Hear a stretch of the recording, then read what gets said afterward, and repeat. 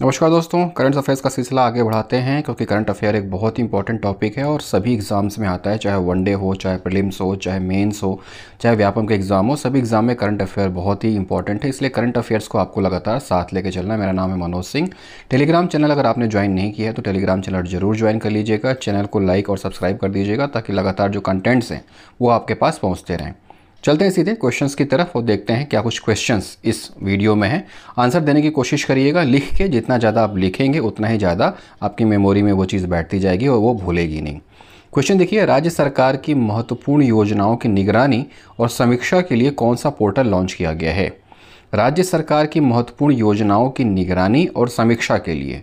अगर पोर्टल दे दे एग्ज़ाम में और ये भी पूछ दे कि इसका उद्देश्य क्या है तो उसके दो उद्देश्य हैं जिसको आपको लिखना है। इस पोर्टल का जो मुख्य उद्देश्य है, वो है महत्वपूर्ण योजनाओं की निगरानी, शासन की और समीक्षा। तो आपको बताना है कि पोर्टल है कौन सा? यहाँ पे चार ऑप्शन आपके पास है। अटल मॉनिटरिंग पोर्टल, ई समीक्षा पोर्टल, दीनदयाल मॉनिटरिंग पोर्टल या Sushasan portal. Atal monitoring portal, e Samviksha portal, Deendayal monitoring portal या सुशासन पोर्टल। वो कौन सा पोर्टल है जो राज्य सरकार की महत्वपूर्ण योजनाओं की निगरानी और समीक्षा के लिए लॉन्च किया गया है? मुझे उम्मीद है आंसर आपको पता होगा, लिख के बताइए, नहीं तो चलते हैं सीधे आंसर की तरफ़। और ये पोर्टल है अटल मॉनिटरिंग पोर्टल। राज्य सरकार की महत्वपूर्ण योजनाओं की निगरानी और समीक्षा के लिए अटल मॉनिटरिंग पोर्टल लॉन्च किया गया है। करंट अफेयर को एक कॉपी में नोट करके चलते चलिएगा, क्योंकि आने वाले समय में जब एग्ज़ाम होगा तो आपको रिविज़न करने में काफ़ी आसानी होगी। अगला क्वेश्चन देखिएगा, ब्लू मार्मोन तितली राज्य के किस अभ्यारण्य में पाई गई है? ये एक बहुत ही इंपॉर्टेंट तितली है जो अक्सर कहीं दिखती नहीं है, लेकिन जब ये दिखती है तो वहाँ खबरें बन जाती हैं और इस लिहाज से जब ये बात निकल कर आई है तो ये एग्ज़ाम के लिए भी इंपॉर्टेंट हो जाता है, क्योंकि ये छत्तीसगढ़ के अभ्यारण्य में मिली है। तो ब्लू मार्मोन तितली राज्य के किस अभ्यारण्य में पाई गई है? यहाँ पर आपके ऑप्शन है, तमोर पिंगला, भोरमदेव, सेमरसोत या बारनवा पारा ब्लू मार्मोन तितली राज्य के किस अभ्यारण्य में पाई गई है? तमोर पिंगला फोरमदेव सेमरसोत या बारनवा पारा? इसका आंसर देख लेते हैं। आंसर आपको पता है तो कमेंट बॉक्स में लिख के बताइए, नहीं तो आंसर आपके सामने है। भोरमदेव अभ्यारण्य में पाई गई है ब्लू मॉर्मोन तितली। नोट डाउन करते चलिएगा और आंसर याद है तो उसको लिखते चलिएगा। कमेंट बॉक्स में लिख के बताते रहिए ताकि ज़्यादा से ज़्यादा जितना आप लिखेंगे, उतना ही ज़्यादा आपको चीज़ें याद होती चली जाएँगी। अगला क्वेश्चन देखिए, जल जगार अभियान की शुरुआत किस ज़िले से की जा रही है? जल जगार एक वृहद अभियान है और इसकी शुरुआत किस ज़िले से की जा रही है छत्तीसगढ़ की, ये आपको बताना है। चार ऑप्शन आपके पास हैं, अभी हाल ही में लगातार आपने इसको खबरों में पढ़ा होगा, मुख्यमंत्री खुद यहाँ पे गए थे जल जगार अभियान की शुरुआत करने के लिए। रायपुर, बस्तर, बिलासपुर या धमतरी। जल जगार अभियान की शुरुआत किस ज़िले से की जा रही है? रायपुर, बस्तर, बिलासपुर या धमतरी? चारों में से एक ऑप्शन है। आंसर मुझे पक्का यकीन है, आपको पता होगा। लिख के बताइए, नहीं तो चलते हैं सीधे आंसर की तरफ़। इसका सही आंसर है धमतरी। धमतरी में जल जगार अभियान की शुरुआत की गई है। जल को संरक्षण करने के लिए और लोगों को यह संदेश देने के लिए कि पानी बहुत कीमती है। तो इस लिहाज से उसको बचा के रखना है। अगला क्वेश्चन देखिए। Treasurer of piggy banks. ये एक किताब है। किस नाम से अंग्रेज़ी में अनुवादित कविताएँ मूलतः किस लेखक की हैं? ये एक अंग्रेज़ी की किताब है ट्रेजरर ऑफ़ बिकी बैंक्स लेकिन ये हिंदी में लिखी गई कविताओं का मूलतः ट्रांसलेशन है, अनुवाद है। तो आपको बताना है कि वो कौन सा कविता, कौन सा लेखक है जिसने हिंदी में इसको लिखा था और उसकी इंग्लिश ट्रांसलेशन बुक का नाम है ट्रेजरर ऑफ़ पिगी बैंक यहाँ पे चार ऑप्शन आपके सामने श्यामलाल चतुर्वेदी, परदेशी वर्मा, विनोद कुमार शुक्ल या ठाकुर प्यारेलाल। श्यामलाल चतुर्वेदी परदेसी वर्मा, विनोद कुमार शुक्ल या ठाकुर प्यारेलाल। तो ट्रेजरर ऑफ़ पिगी बैंक नाम से अंग्रेज़ी में अनुवादित कविताएँ मूलतः किस लेखक की हैं? इसका आंसर आप मुझे दे बताइए और आंसर पता होगा क्योंकि आप लोग लगातार पढ़ते रहते हैं। इस लिहाज से मैं देखता हूँ कि आपने करंट अफेयर्स पे अच्छी तैयारी कर रखी है। तो ट्रेजरर ऑफ़ पिगी बैंक मूलतः विनोद कुमार शुक्ल की कविताएँ हैं जो अंग्रेज़ी में अनुवादित की गई हैं। ट्रेजरर ऑफ़ पिगी बैंक्स याद रखिएगा, वैसे भी विनोद कुमार शुक्ल की जो रचनाएँ हैं वो एग्ज़ाम में लगातार पूछी जाती हैं तो इस लिहाज से ट्रेजरर ऑफ़ पिगी बैंक्स भी पूछा जा सकता है। अगला क्वेश्चन देखिए। S D G sustainable development goals district progress report 2023 के अनुसार राज्य का कौन सा जिला पहले स्थान पर है? एसडीजी डिस्ट्रिक्ट प्रोग्रेस रिपोर्ट 2023 के अनुसार राज्य का कौन सा जिला पहले स्थान पर है? हाल ही में ये रिपोर्ट आई है। उसके लिहाज से छत्तीसगढ़ के सभी जिलों को कैटेगराइजेशन किया गया है और उनमें से आपको बताना है कौन सा जिला है जो टॉप पोजीशन पे है। आपके ऑप्शन सामने हैं, धमतरी, बस्तर, रायपुर या बीजापुर।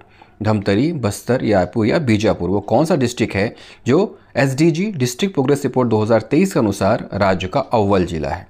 ऑप्शन आपके सामने है, आंसर लिख के बताने की कोशिश करिए। आंसर है Dhamtari. S district progress report 2023 के अनुसार राज्य का कौन सा जिला पहले स्थान पर है? धमतरी। और इसके अलावा कौन सा जिला अंतिम स्थान पर है, इसको भी याद रख लीजिएगा, बीजापुर। बीजापुर एसडीजी रिपोर्ट में सबसे नीचे है। अगला क्वेश्चन देखिए। ई समीक्षा पोर्टल किस विभाग के द्वारा शुरू किया गया है? ई समीक्षा एक पोर्टल है, वो किस विभाग के द्वारा शुरू किया गया है, ये आपको बताना है।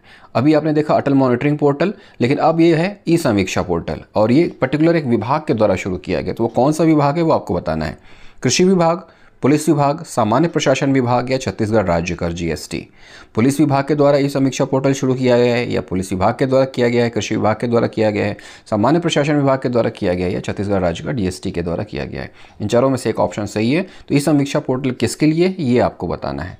आंसर बताते चलिए, ताकि आपका रिविज़न होता रहे, लगातार उसको गुनगुनाते रहिए और लिखते चलिए। अगर क्वेश्चन पहली बार देख रहे हैं तो उसको अलग से कॉपी में ज़रूर नोट डाउन कर लीजिएगा, ताकि वो चीज़ें आपको बाद में रिविज़न करने में आसानी रहें।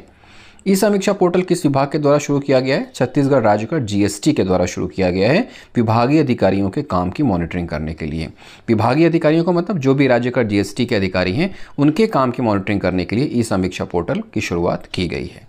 तो दो पोर्टल आपने देख लिए, दोनों ही इंपॉर्टेंट है, इसको याद रखिएगा, अटल मॉनिटरिंग पोर्टल और ई समीक्षा पोर्टल। अगले क्वेश्चन की तरफ़ बढ़ते हैं। अगला क्वेश्चन देखिए, छत्तीसगढ़ के नए राज्य निर्वाचन आयुक्त अजय सिंह किस क्रम के निर्वाचन आयुक्त हैं? हाल ही में छत्तीसगढ़ राज्य निर्वाचन के आयुक्त नियुक्त हुए हैं अजय सिंह। आपको बताना है कि छत्तीसगढ़ में किस क्रम के निर्वाचन आयुक्त हैं? यहाँ पे आपका ऑप्शन है, चौथे, पाँचवें, छठवें या सातवें। कौन से क्रम के निर्वाचन आयुक्त हैं? कौन नियुक्त हुआ है? ये तो आपसे पूछा जाएगा ही इनका नाम, लेकिन किस क्रम के हैं? ये भी पूछा जाएगा, क्योंकि हाल ही में पिछले कुछ पेपर्स आप देखेंगे एग्ज़ाम्स देखेंगे पीएससी और व्यापम के तो उसमें क्रम को लेकर भी क्वेश्चन आए हैं, इस लिहाज से इसको भी इस तरह से देखना पड़ेगा। तो आपको बताना है कि अजय सिंह की नियुक्ति हुई है राज्य निर्वाचन आयुक्त के लिए तो वो किस क्रम के राज्य निर्वाचन आयुक्त हैं? आंसर, पाँचवा। पाँचवें क्रम के राज्य निर्वाचन आयुक्त हैं। अब पहला कौन है, इसको भी आपको याद रखना है, क्योंकि अक्सर वो पूछा जाता है। तो आप एक बना लीजिएगा, वन, टू, थ्री, फोर, और सबके नाम लिख लीजिएगा और उसको रिवाइज करते चलिएगा, ताकि इजीली आपको पता रहे कि राज्य निर्वाचन आयुक्त का क्रम कौन सा है और पहले राज्य निर्वाचन आयुक्त छत्तीसगढ़ के कौन थे। आगे बढ़ते हैं। अगला क्वेश्चन देखिए। 12 से 14 जून तक राष्ट्रीय आम महोत्सव कहाँ मनाया गया? 12 से 14 जून तक राष्ट्रीय आम महोत्सव कहाँ मनाया गया? Mango festival. चार ऑप्शन आपके पास हैं। अटल बिहारी वाजपेयी विश्वविद्यालय, गुरु घासीदास केंद्रीय विश्वविद्यालय, इंदिरा गांधी कृषि विश्वविद्यालय या गहिरा गुरु विश्वविद्यालय। अटल बिहारी वाजपेयी विश्वविद्यालय, गुरु घासीदास केंद्रीय विश्वविद्यालय, इंदिरा गांधी कृषि विश्वविद्यालय या गहिरा गुरु विश्वविद्यालय। चारों ऑप्शन आपके सामने आंसर देने की कोशिश करिए। 12 से 14 जून तक राष्ट्रीय आम महोत्सव कहाँ मनाया गया? चलते आंसर की तरफ़। आंसर है इंदिरा गांधी कृषि विश्वविद्यालय, रायपुर। 12 से 14 जून तक राष्ट्रीय आम महोत्सव इंदिरा गांधी कृषि विश्वविद्यालय, रायपुर में मनाया गया। अब आपका एक काम यह है कि आप ये बताइए कि इंदिरा गांधी कृषि विश्वविद्यालय की स्थापना कब हुई थी? क्योंकि स्थापना को लेकर भी क्वेश्चन एक दो बार एग्ज़ाम में आ चुका है। तो इसका स्थापना कब हुआ था, किस सन में हुआ था, वो आप देख लीजिएगा। अगला क्वेश्चन देखते हैं। सीसीपीएल के पहले संस्करण की विजेता टीम कौन है? सीसीपीएल क्या है? छत्तीसगढ़ क्रिकेट प्रीमियर लीग के पहले संस्करण की विजेता टीम कौन है? आईपीएल के शुरू होने के बाद अब जितने भी स्टेट्स हैं, वो खुद का अपना प्रीमियर लीग करवा रहे हैं। तो उसी क्रम में छत्तीसगढ़ ने भी पहली बार सीसीपीएल कराया है, छत्तीसगढ़ क्रिकेट प्रीमियर लीग आयोजित करवाया है। तो इसमें जो विजेता टीम है पहले संस्करण की, वो कौन है? आपको बताना है। चार टीमों के नाम यहाँ पे उनमें से कोई एक टीम है जो पहले संस्करण की विजेता है। बिलासपुर बुल्स, रायपुर राइनोज राजनांदगांव या रायपुर। इन चारों में से एक ऑप्शन सही है, सही ऑप्शन आपको बताना है। आंसर पता है तो बहुत ही अच्छी बात है, नहीं तो चलते हैं सीधे आंसर की तरफ़। रायपुर राइनोज रायपुर राइनोज ने किसको हराया? बिलासपुर बुल्स को हराया। सीसीपीएल के पहले संस्करण की विजेता team, Raipur Rhinos Bilaspur Bulls का हराने के बाद। इसको याद रखिएगा। अगला क्वेश्चन देखते हैं।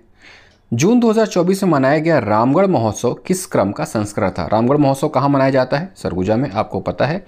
यहाँ पे जो महत्वपूर्ण गुफा है, सीता बेंगरा, वो स्थित है। इसकी जो नाट्य नाटक थी, नाटक की जो नायिका है, उसका नाम है सुतनुका, ये भी याद रखिएगा। तो इस तरह से आप यहाँ पे क्वेश्चंस को थोड़ा सा ब्रॉड करके पढ़ने की कोशिश करिएगा, ताकि उनकी चीज़ें सारी आपको पता रहें। आपको बताना है कि इस बार जून 2024 में जो रामगढ़ महोत्सव मनाया गया, उसका संस्करण क्या है? छियालीसवां, सैंतालीसवां, अड़तालीसवां या उनचासवां। Forty six, forty seven, forty eight और फोर्टी नाइन।